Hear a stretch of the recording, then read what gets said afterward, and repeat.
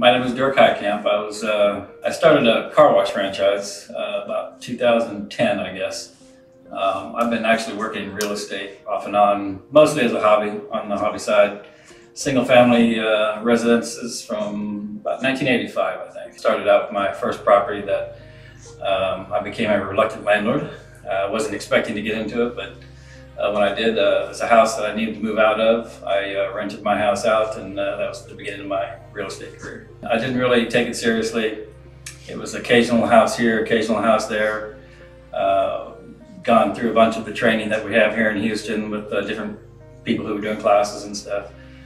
got into a little bit of rehab work, flipping, wholesaled a couple of houses, um, owner financed a house. You know, tried to dabble a little bit in everything again, never really got serious about it. Uh, probably until about five or six years ago. I got my uh, real estate license then. Just wanted to get the same tools that all the uh, real estate agents had to evaluate properties, which was kind of my main thing, as well as find properties. Uh, but never really got a lot of traction. It was kind of a one-man show, so it's a little bit harder to do everything yourself, in addition to doing everything else that you're doing.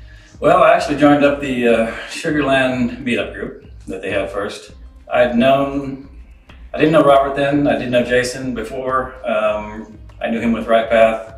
Uh, wasn't a part of the organization, but I knew him from that, and you know, just being around town, Houston real estate. And then we had to meet up, and that's kind of how it all progressed, as they were trying to get their act together and and uh, form, formulate the mastermind in the first place. I was one of the initial members. Um, I think we initially had like 10 people. I liked the way that they analyze the entire business aspect of it, analyzing properties, when you have some other businesses or other work that you have to do, um, you can't really be everything that you have to do for real estate. So, um, because there's a lot of different kinds of things that you have to pay attention to, and and they fill in a lot of the holes um, with doing that, both in education and services and everything that they provide. Uh, probably the biggest thing, biggest hole that they filled was uh, going through the process and uh, giving you the confidence to know to go from one step to the next. So one of the first things that you need to do and uh, that they encourage you to do when you get here is to figure out what you want.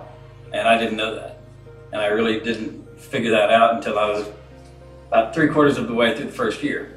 And then uh, trying to figure out, well, what do you want out of real estate? What are your goals from this? And, you know, once you start getting into the process, it becomes more clear. It was something that I developed, and as I went through it, I did get more clear on what I wanted to do. And of course, they have their thing, the 10 houses and all that. That was very good and focused and gives a lot of clarity to everybody, and it's a good starting point.